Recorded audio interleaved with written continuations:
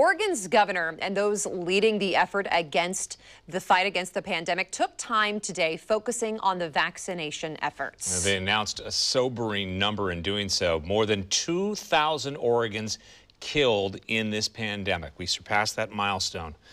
And that is loved ones, family members, friends taken away in just the past year. A year in which, for the first time, deaths outnumbered births. And along with that grim number comes positive signs.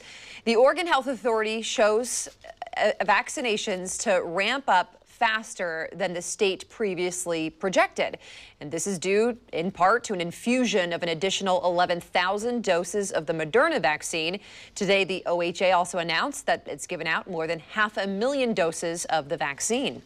And with all of this, uh, OHA is warning of chaos in the days ahead because we've got that big group of seniors now trying to right. make appointments 80 and older starting on Monday. And chaos is a word that uh, that they used, that the Oregon Health Authority used, right, John? Yeah, that's a word that they did use today. The Oregon Health Authority saying today to expect some chaos next week. And they know that there will be some frustration. The state calling in members of the National Guard to help field questions at an overwhelmed 211 center.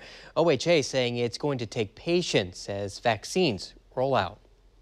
To start with the good news, the Oregon Health Authority and Governor Kate Brown say the state will see an increase in COVID 19 vaccines starting next week. Earlier this week, I was on a call with the White House when they notified us that states will now be receiving a more than 20% increase in our allotment of vaccines. These new allocations and pharmacies also coming on board will speed up the timeline to get Phase 1A inmates, educators, and seniors vaccinated by a month.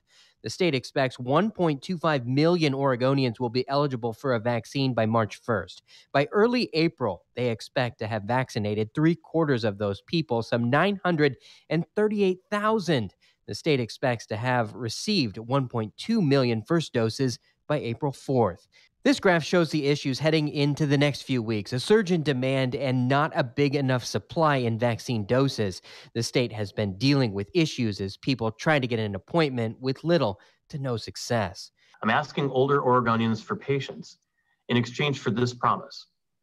While it will take time, every senior who wants to get vaccinated will get a vaccine in coming weeks. On top of adding seniors to the list, next week Oregon will allocate 5,000 doses a week to vaccinate Oregon's 12,000 inmates incarcerated in state prisons. The state saying the allotment will happen over the next few weeks to satisfy a federal ruling that inmates must get vaccinated. It's going to be challenging over the next couple of weeks, particularly next week, because we have a lot of seniors in that over 80 and over category coming online and eligible for vaccinations. The Oregon Health Authority says that they are asking for patience, knowing the frustration in trying to get an appointment and what to do next. People can just be a little bit patient. I think the, this process will work better. We have been asking the Oregon Health Authority what seniors need to know about making appointments today. OHA Director Patrick Allen addressed it. He says the phone number 211 is being staffed by call takers and the National Guard, but it's overwhelmed. Next week, many older adults will inevitably voice frustration. Next week, you will not have to look hard to see people experiencing confusion. We will fall short. As much as we want to offer every older adult seamless access to a vaccine next week and over the rest of this month, the numbers don't lie. The gap between our eligible population and our allocated doses will be wide at first.